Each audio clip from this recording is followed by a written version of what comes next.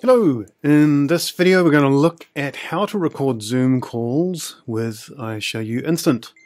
Uh, so you will need iShowU Instant, surprisingly, uh, SWB audio capture installed. Let me just show you that. So here you'll see in my uh, audio tab that I have it available. There's no button here saying install SWB audio capture. And you need this to cap you need this driver installed to capture the application audio. And of course you'll need Zoom.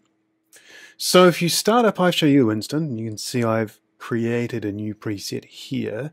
And I've enabled application audio capture. Let me just show you what that does. This is why I have these other windows here.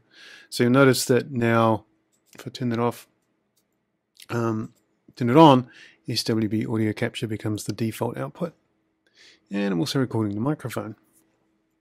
So you want both of those because you want to record, I'm guessing, uh, what you say during the call and you want to record the other people's voice as well. Back in Zoom, this is the preferences for Zoom here and under the audio tab, um, we'll show you what you want to select there.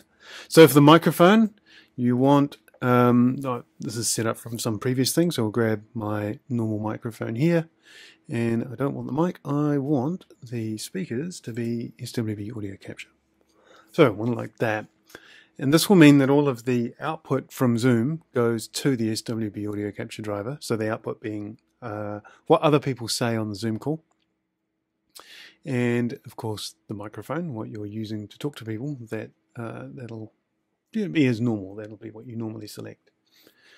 Um, so this is the correct setup for recording a Zoom call. If I hit record now and were I on a call, uh, I would record both my microphone, as you can see here, it's set on both sides, and I would record the uh, audio from the Zoom call itself because any audio from Zoom goes to the SWB audio capture driver which is then recorded by iShowU Instant. Now, if you want more info on that part, which I highly suggest you go and have a look at this, I've put up another video on what is SWB audio capture. And it'll give you some background as to what is happening a little bit behind the behind the scenes for that driver, and it'll it'll help your understanding. So I highly suggest that. Um, and that is it. So this is the setup for recording Zoom. If you have any questions, uh, leave a comment. Otherwise, like and subscribe. Um, make sure you get updates from us, uh, other helpful videos, and so on. But hope you have a good day.